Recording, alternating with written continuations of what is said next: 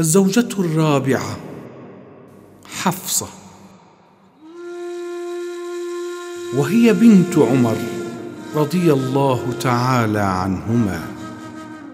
وهي أرملة شهيد بدر أنيس بن حذافة رضي الله تعالى عنه.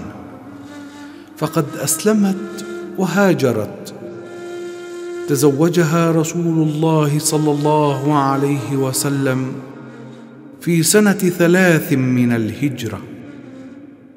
والرسول عليه الصلاة والسلام قد بلغ الخامسة والخمسين من عمره المبارك وطلقها تطليقة واحدة ثم راجعها. نزل عليه الوحي راجع حفصة. فإنها صوامة قوامة وإنها زوجتك في الجنة.